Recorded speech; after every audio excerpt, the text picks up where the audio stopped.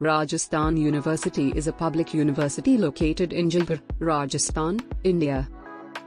The university was established in 1949.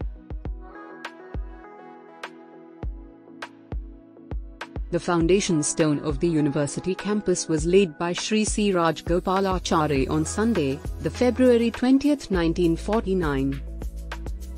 Words by founder Nothing can be achieved unless we learn to be good and correct and self-disciplined and cultivate self-restraint and that, which is called dharma in our beautiful language. Words by founder. It is one of the oldest universities in India.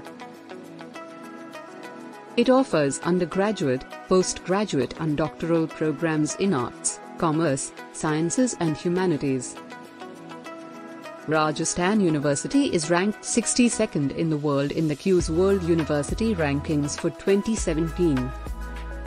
Over the years the university has redefined itself keeping in mind the changing trends of the educational system.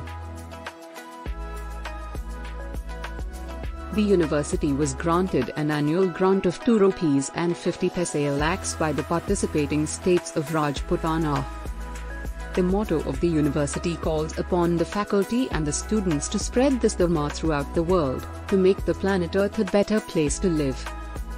The University of Rajasthan subsequently became a teaching cum affiliating university.